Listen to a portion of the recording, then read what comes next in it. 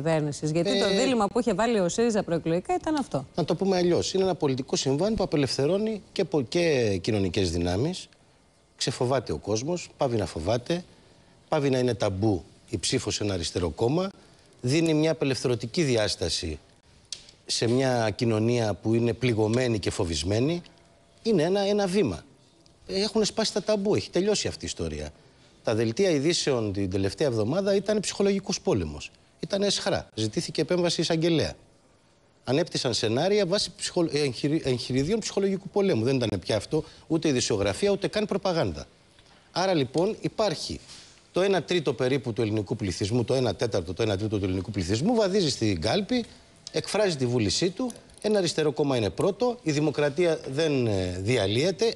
Αντιθέτως νομίζω ότι αυτή η ψήφος, ειδικά σε αυτή την περίοδο της κρίσης, μέσα από, την, τε- από τις τέφρες της κρίσης ανοίγεται μια προοπτική για δημοκρατική αναγέννηση. Και κοινωνική και δημοκρατική αναγέννηση. Κύριε είναι, Κουκουλόπουλε, είναι η μια αλήθεια κοσμοϊστορική είναι- στιγμή. Η αλήθεια είναι πως με τα διλήμματα που έθεταν από τη μία η Νέα Δημοκρατία και από την άλλη το ΠΑΣΟΚ, ε, ε, το μήνυμα που έβγαινε προς τα έξω είναι ότι αν βγει πρώτος ο ΣΥΡΙΖΑ, ε, θα έχουμε αστάθεια, Θα βρέχει ακρίδες, αναταραχή τέτοια κτλ.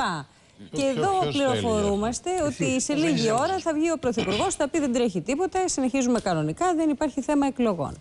Όχι, όχι. Δύο, δύο λεπτά. Ο καθένας κάτι έχει πει. Εμείς ζητήσαμε λαϊκή εντολή για να συνεχίσουμε να είμαστε ο προοδευτικός πόλος μιας ε, κυβέρνησης συνεργασίας, άρα και της σταθερότητας κατ' επέκταση. Από ό,τι φαίνεται, αυτή την εντολή που ζητήσαμε την παίρνουμε. Από, βέβαια πρέπει να περιμένουμε με υπομονή τα τελικά αποτελέσματα. Δεύτερον, εσωτερικά στην παράταξή μας. Ε, δι- ζήτημα σταθερότητας δεν υπάρχει. Ο ΣΥΡΙΖΑ άθριζε τα ποσοστά Πασόκ Νέα Δημοκρατία και έλεγε θα πάμε στον κύριο Παπούλια, στον πρόεδρο, εάν έχουμε ποσοστό μεγαλύτερο, Σταθάκης, Σκουρλέτης, στελέχη, επώνυμα, Παπάς,